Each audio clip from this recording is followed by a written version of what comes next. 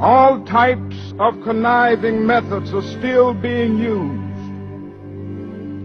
to prevent Negroes from becoming registered voters. The denial of this sacred right is a tragic betrayal of the highest mandates of our democratic tradition.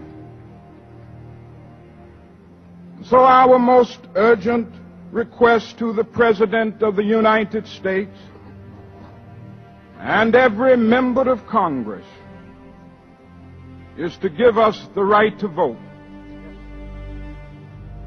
Give us the ballot. And we will no longer have to worry the federal government about our basic rights.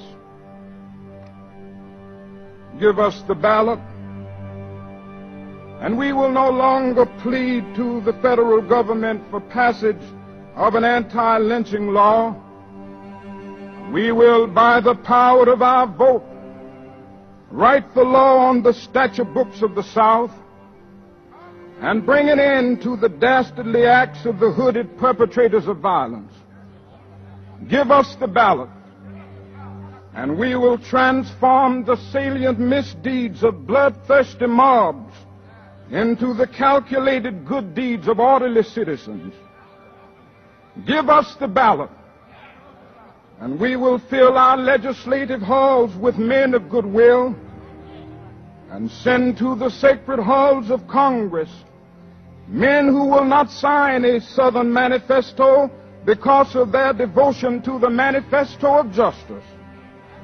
Give us the ballot, and we will place judges on the benches of the South who will do justly and love mercy.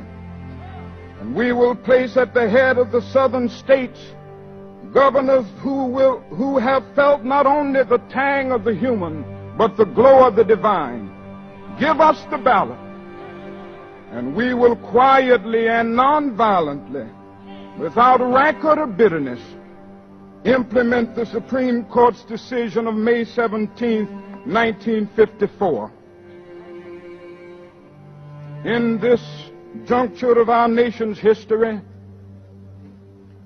that is an urgent need for dedicated and courageous leadership. If we are to solve the problems ahead and make racial justice a reality, this leadership must be fourfold.